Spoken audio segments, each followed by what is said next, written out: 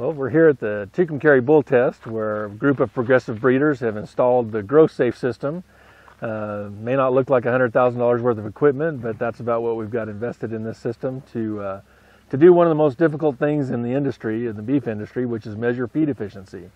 Uh, one of the most uh, challenging things that we can try to measure and identify in, in beef cattle is, is how efficient they are at converting feed.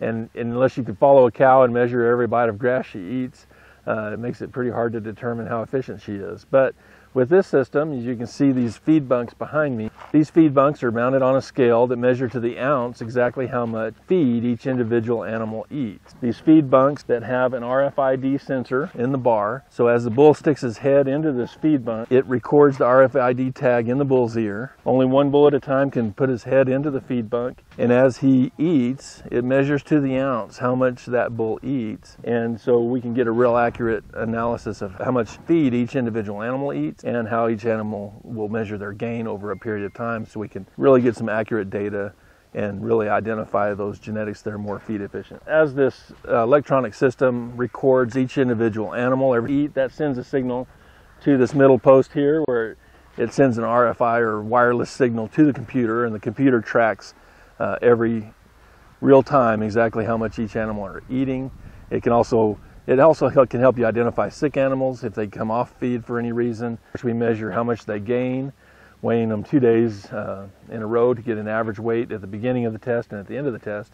And over a 60-day trial, we can identify which of the animals are converting and utilizing the feed in the most efficient manner. Find that there are some individual animals that are very, very feed efficient in how they convert the energy and the, from the feed.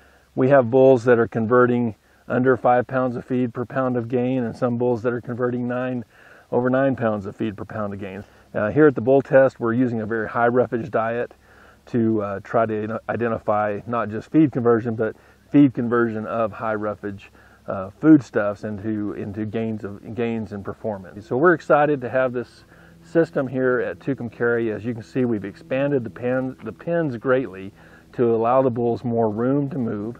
We're testing them in big groups commingled with 64 bulls in a large, large pen. So they get a lot of exercise moving around. Um, they're a lot, I think, uh, with the high roughage diet, they're not carrying as much condition and body weight uh, coming off the test. So they're going to be much more sound in the way that they can move and they're ready to go to work for our buyers.